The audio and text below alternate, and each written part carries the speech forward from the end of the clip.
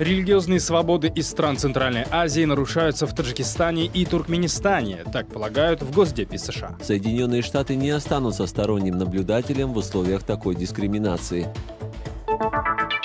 Власти Казахстана намерены за пять лет сократить число разводов в стране на 30%. Нехватка финансов, нет жилья для них, для, для молодых семей, нет толковой работы оплачиваемой. Активисты в кыргызском селе проявили инициативу и сами построили себе инфраструктуру для высокоскоростного интернета. Районный центр далеко, вокруг горы, культурных мероприятий мало. Кино пытались смотреть на телефоне, но мобильный интернет такую нагрузку не тянет. Теперь интернет быстрый и телевидение есть. В прямом эфире информационная программа «Настоящее время Азия» в бишкекской студии. Я Шавкат Тургаев. Здравствуйте. Афера на миллионы. В Кыргызстане выявили контрабанду более 100 дорогих автомашин, в том числе ранее угнанных. Ущерб государству только предварительно составил 100 миллионов сомов. Это примерно полтора миллиона долларов. Известно, что преступная группировка ввозила в страну люксовые авто по поддельным документам и без уплаты налогов. Пособники в Государственной регистрационной службе помогли ставить машины на первичный учет. Задержаны 4 человека, среди них два сотрудника Государственной регистрационной службы. Были изъяты печати стран СНГ, поддельные свидетельства о регистрации транспорта Беларуси, Казахстана, накладные с печатями пунктов пропуска, компьютеры и принтеры для печати документов. Возбуждены уголовные дела по факту подделки документов и злоупотребления должностным положением оборудования. С использованием поддельных документов стран э, ЕАЭС было ввезено 11 э, автотранспортных э, средств. При проведении оперативно-розыскных мероприятий в обнаружен замаскированный фотосалон цех, где производились и изготавливались поддельные документы государственного образца. Госдепартамент США опубликовал заявление Майка Помпео, в котором перечисляются страны, нарушающие свободу вероисповедания. В этом году в десятку попали и Таджикистан, и Туркменистан. Госсекретарь отмечает, что во многих регионах мира люди продолжают сталкиваться с преследованиями за свои религиозные убеждения. Акрам Абдукахор изучил черный список Госдепа. В блэк-лист Госдепа США традиционно включаются 10 стран мира, где ситуация со свободой вероисповедания вызывает особую обеспокоенность Вашингтона. США поместили Таджикистан с Туркменистаном в один ряд с Мьянмой, Ираном, КНДР, Китаем, Саудовской Аравией, Суданом, Эритреей и Пакистаном. По мнению главы Госдепа, в этих странах систематически допускаются вопиющие нарушения религиозной свободы граждан. По всему земному шару люди продолжают сталкиваться с преследованиями, арестами или даже смертью, просто из-за того, что они живут согласно своей вере. Соединенные Штаты не останутся сторонним наблюдателем в условиях такой дискриминации. Защита и поддержка международных религиозных свобод являются высшим приоритетом во внешней политике администрации Трампа. В этом году в Госдеповском черном списке Узбекистан с Пакистаном поменялись местами. И это маленькая сенсация. Центральноазиатская республика с 2006 года беспрерывно входила в десятку репрессивных стран. На этот раз страна переместилась в список наблюдения. В заявлении Помпео не приводятся конкретные причины улучшения позиции Узбекистана. Однако правозащитники связывают это с Мирзияевской оттепелью. Новый президент на протяжении последних двух лет постепенно открывает страну для международных правозащитных организаций. Поскольку Узбекистан в выходящем году э, смог допустить миссию специального докладчика ООН по вопросам вероисповедания, и он смог лично встретиться с пострадавшими, провести свои наблюдения на территории Узбекистана, сам этот факт говорит о том, что Узбекистан из закрытой страны э, постепенно переходит в открытый режим диалога с международными независимыми наблюдателями. Это очень важный и позитивный шаг. Несмотря на улучшение имиджа Узбекистана, правозащитники отмечают, продолжается практика арестов верующих по подложным фактам, а также давление на представителей нетрадиционных в республике конфессий, в частности баптистов. По наблюдениям нашей организации, у меня здесь возникает очень много вопросов. Например, 25 ноября были массовые задержания э, представителей э, религиозной конфессии христиан, это баптистская церковь.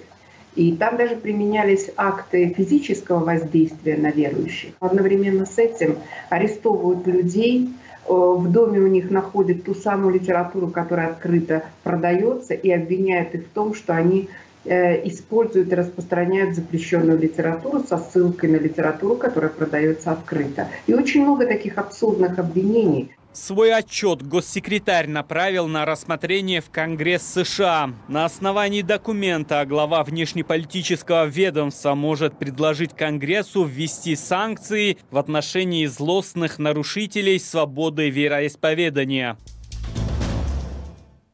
В Каракалпакстане даже после смерти пациента врачи просили у родственников принести в больницу лекарства и еду. Преподаватель из Турткульского района Аминбой Ниюзимбетов попал в ДТП, его доставили в больницу без сознания. Он пролежал в коме 14 дней и скончался в местной больнице. Родственники Ньюзимбета утверждают, что врачи и после его смерти требовали для мужчины медикаменты и продукты питания. Как рассказали радио Озодлик, племянник покойного Ахмата и его младший брат Рашид в больнице несколько раз в день отключают электричество. Из-за этого Ньюзимбетова подключали к системе искусственного дыхания. Они вручную качали насосы. Таким образом, им удалось продлить жизнь своему родственнику на 14 дней. Связаться с лечащим врачом, который просил лекарства и еду, репортерам радио Озодлик не удалось. Лавочка прикрыта. Онкологу Хашиму Зайналиеву МВД Кыргызстана запретила покидать страну, а его клиника будет закрыта. Ранее против него возбудили уголовное дело по статье «Незаконное врачевание». Как рассказали в пресс-службе Министерства здравоохранения, ведомство не раз обращалось в МВД и Госкомитет национальной безопасности, чтобы в отношении лже-доктора приняли меры и его клинику закрыли, но реакции не было. О Хашиме Зайналееве в Кыргызстане узнали два года назад. Он занимался лечением онкобольных. Его клиника не имела лицензии. После проведенной операции одна из его пациенток умерла, другой он отрезал грудь. Против него возбудили два уголовных дела, но знахаря в итоге так и не осудили. И вот недавно стало известно, что он снова занялся лечением. В Национальный центр поступила в тяжелом состоянии пятилетняя девочка, которую лечил непотопляемый доктор-самозванец. При этом родители ребенка писать на него заявление отказались. На птичьих правах в столице Таджикистана жители целого квартала не могут официально оформить свое жилье уже 20 лет. Людей в любой момент могут выселить без компенсации. В администрации района считают, что частных домов на этой территории быть не должно, а люди захватили землю и построили свои дома незаконно. Анушер Ванарипов разбирался в этом конфликте. Насрулла Нуров слепой с детства купил этот домик 20 лет назад, но оформить документы до сих пор не может. Официально его дом числится загородной дачей, и домовая книга не полагается. Из-за этого его сыновья не могут получить прописку, а значит не могут устроиться на работу или в ВУЗ. Сам Насрулла, чтобы оформить пенсию, прописался у брата. паспорт, автопаспорт герал. Ничего не сделать для сыновей, у них должна быть прописка. Для этого нужен паспорт. Чиновники спрашивают, где домовая книга, кто это сделает. Здесь дача числится вот с такой книжкой вместо нормального документа. Такие же проблемы есть и у жителей 250 частных домов в этом квартале. Они выкупили дачи более 20 лет назад и с тех пор безуспешно пытаются их переоформить. Несмотря на то, что все жители оплачивают коммунальные услуги и налог на землю, здесь они живут на птичьих правах. Выселить их могут в любой момент. Без прописки их не принимают ни в больницах, ни на работу. Городская администрация не ремонтирует дороги и не восстанавливает канализацию. В Багдадском районе у родителей пришлось прописать сына, чтобы он смог поступить в ВУЗ. Без прописки говорили, что не примут. Мы платим все налоги государству, но нам никто не помогает. Никого не волнует, как мы живем, есть ли у нас прописка. Не приняли в поликлинике, говорят, что нигде на учете не стоите вы. Мы вернулись домой и с соседями через знакомых попали в больницу. Вон очистные сооружения, а у нас нет воды чистой. Дети пьют грязную воду, болеют, а нас даже в больнице не принимают. Я пенсионер. Чтобы получить пенсию, плачу 400 самани, чтобы временно на учет встать и получить свои деньги. Каждый год проблема такую сумму набрать, чтобы продолжать получать свою пенсию. Переоформить дачи под городские жилые дома в столичной администрации не торопятся говорят местные жители. Им сообщили, что по генплану этот квартал попадает под снос через 20 с лишним лет. Но люди жалуются, детям нужно учиться, а им лечиться и работать уже сейчас. Эти несколько кварталов к 2040 году должны быть снесены, согласно генплану столицы.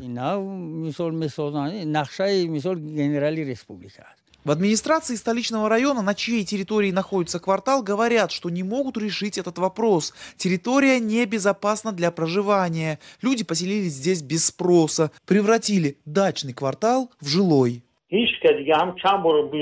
Никто этим не занимается, они много лет обращаются с этим вопросом, но они самовольно там поселились. Там не должно быть жилых домов, ведь рядом река, там были дачи всегда. Люди выезжали отдыхать на выходных, они сами построили там дома. Спросите, где они прописаны. У них у всех есть прописка в разных районах и городах.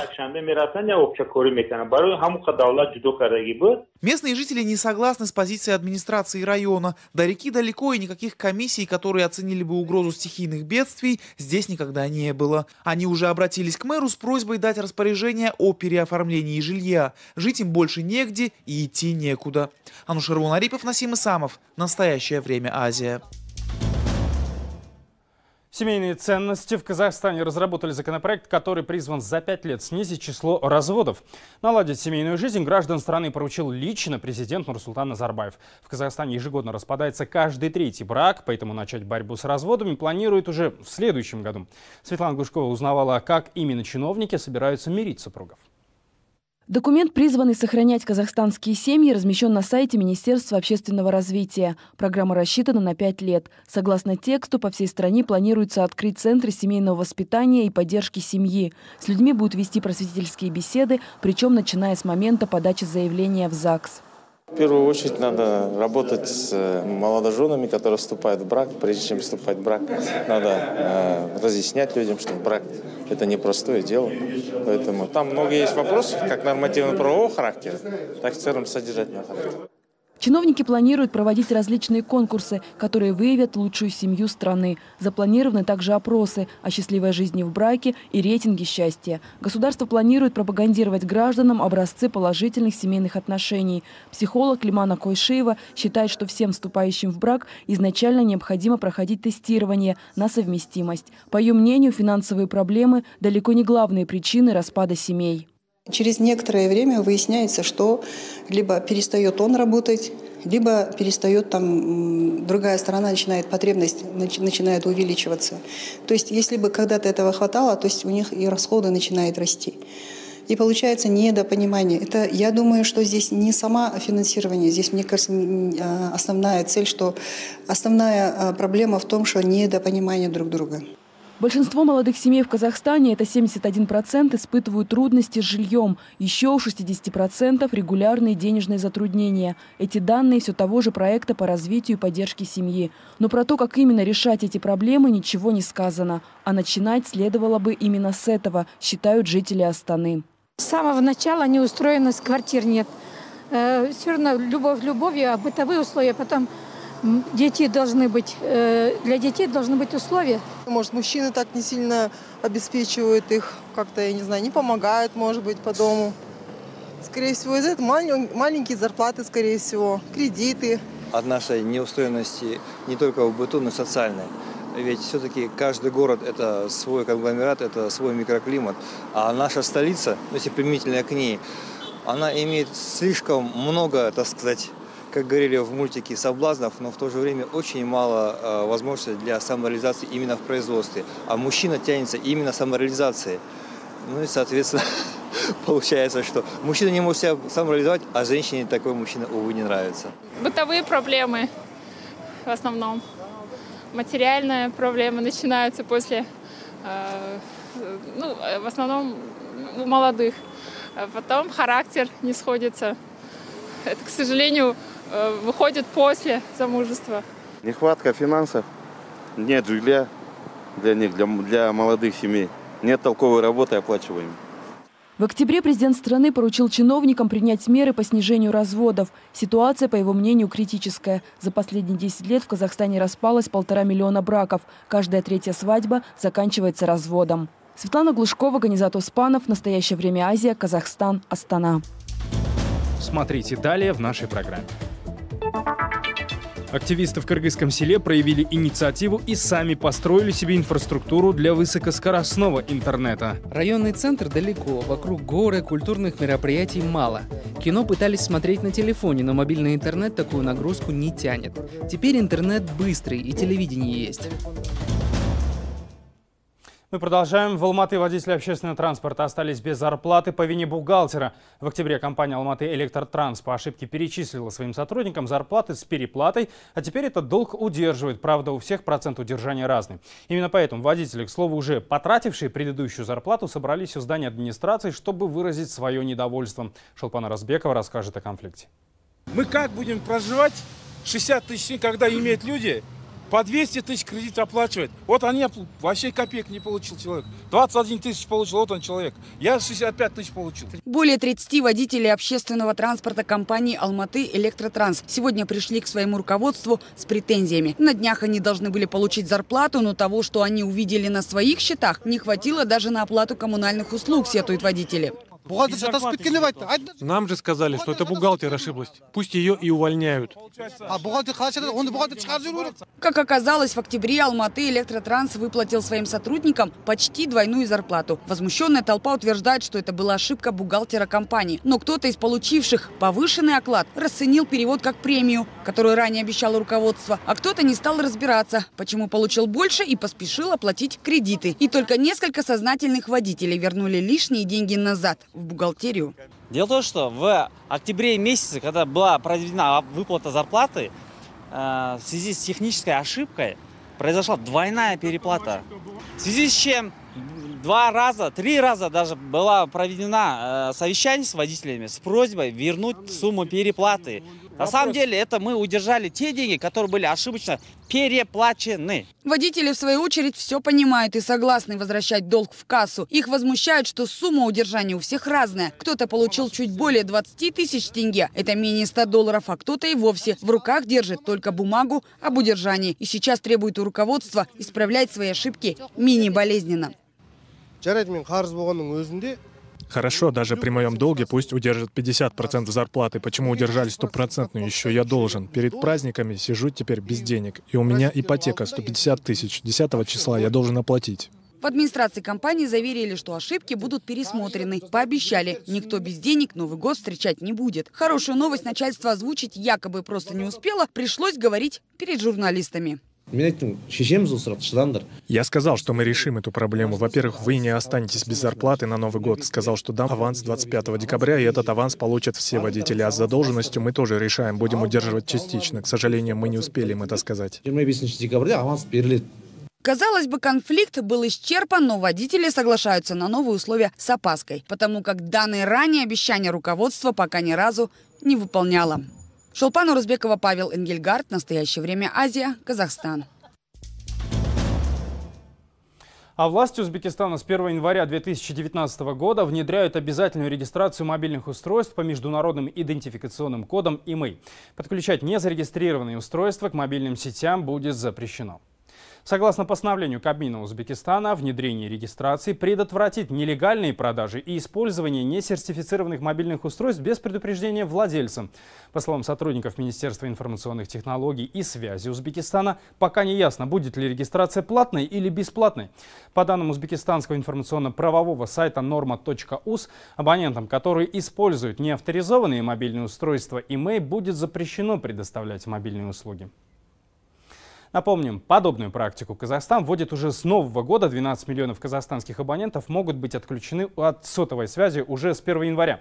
Все потому, что они не зарегистрировали имей-коды своих телефонов.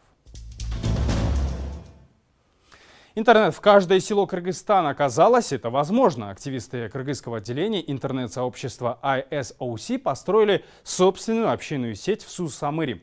Отдаленное холодное село еще десятилетия назад пребывало в информационной изоляции.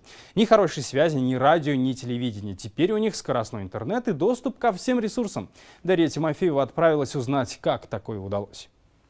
По части интернета 17-летний Ибрагим в селе самый главный. Вместе с ним спецкурсы прошли несколько человек, но работать здесь остался только он. Утром в школе, днем тянет провода и развешивает оборудование. Сегодня нужно подготовить все для подключения трех абонентов. На очереди еще два десятка домов. Я родился рядом с компьютером. Вот э, с детства я любил технику. Я доставал какие-то запчасти и делал всякие игрушки там электрические с механизмами. Ну, это у меня от рождения. Каждое подключение – деньги в копилку на новый компьютер. Это еще удачный день. На термометре стандартный минус 20, зато солнечно. Большую часть времени проводит на морозе. Когда приезжают наставники из столицы, удается погреться и часть работы сделать в машине. Я просто э, хотел, чтобы меня признавали, как бы, э, чтобы я был нужным. И э, я думаю, что все, все эти чувства заставили меня научиться. И теперь э, все за мной гонятся, чтобы я э, сделал мне интернет, поставь мне дома Wi-Fi, я хочу пользоваться. А от этого мне было скучно. Сусамыр в качестве пилотного проекта интернет-сообщество выбрало не случайно. Здесь сложнейшие условия. Горная местность. В одном из самых холодных сел республики зима почти 6 месяцев. Плюс отдаленность от сетевых магистралей. Оптоволокно тянуть было дорого. Построили воздушные мосты. Внутри населенного пункта уже проложили провода. Многое делалось руками самих сельчан. Сварщики готовили детали, электрики крепили, Ибрагим подключает абонентов. По нашим прикидкам, можно вложить всего лишь 5000 долларов, чтобы за запустить сеть. Мы не говорим, что мы подключаем абонентов. Мы делаем а, костяк сети, основные магистрали по улицам протягиваем, а, готовы для подключения. Самое большое преимущество общественных сетей – это то, что сетью владеет сама община. Они могут а, диктовать условия провайдеру так как они уже имеют эту сеть, инфраструктуру, они говорят, у нас есть инфраструктура, вы можете к нам прийти, потому что мы уже построили последнюю милю, самую сложную работу мы уже сделали, и мы можем ее обслуживать. В данном случае у провайдера просят дешевые тарифы и оклад для местных наладчиков. Этот проект оплатило интернет-сообщество, но траты подъемны и для большинства сельских властей. Идею активно поддерживает бизнес. Владельцу хостела в Сусамыре привлекать клиентов теперь значительно проще. И рекламу можно разместить, и фото выложить жить? Мы уже работаем где-то уже 10 лет с иностранцами. Вот они постоянно спрашивали Wi-Fi, интернет. У нас только 3G ловит. Постоянно загрузка. По связи проблем не было. Вот посмотреть видео, вот, куда-то зайти, посмотреть, карту посмотреть, чего-то отправить, это было тяжело. А сейчас лучше. Одним интернет для бизнеса, другие просят цифровое телевидение, чтобы утолить информационный голод. Вместо 16 телеканалов теперь в доме более 100. Районный центр далеко, вокруг горы, культурных мероприятий мало. Кино пытались смотреть на телефоне, но мобильный интернет такую нагрузку не тянет. Теперь интернет быстрый и телевидение есть. Мы узнаем новости мира, а не только местные каналы смотрим. Могу общаться с внуками в других городах, загружать их фотографии. Уже сегодня сеть позволяет подсоединить 200 домов. При желании и усилиях местного населения можно охватить интернетом всю Сусамырскую долину, а это уже около 7 тысяч человек. Интернет-сообщество на это готово и хочет помочь запустить подобные проекты по всей республике. Дарья Тимофеева, Азат Интамаков. В настоящее время Азия, Кыргызстан, Чуйская область. Это были все новости, о которых мы хотели вам рассказать. Смотрите нас в социальных сетях, в эфире своих национальных телеканалов и в прямом эфире круглосуточного телеканала «Настоящее время» в Ютубе. Мы встретимся с вами завтра в это же время. Всего доброго.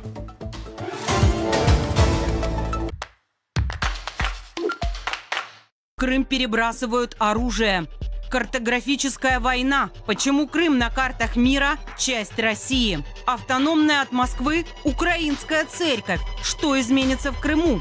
В течение 20 лет украинская община Крыму, она все время доказывала свое право на существование. Долгожданная премьера. В столице сыграли спектакль по пьесе Сенцова. В этот раз я еду в предгорье Карпат, одно из самых красивых мест Украины. Галицийская Сицилия, польская Баку. Это все про единственный в своем роде город, полностью построенный на нефтяном месторождении. С виду это обычный, ничем не примечательный парк с лавочками и детскими площадками. Но стоит присмотреться, и окажется, что здесь, в центре города, добывают нефть. Такого не увидишь больше нигде в мире, только в Бориславе.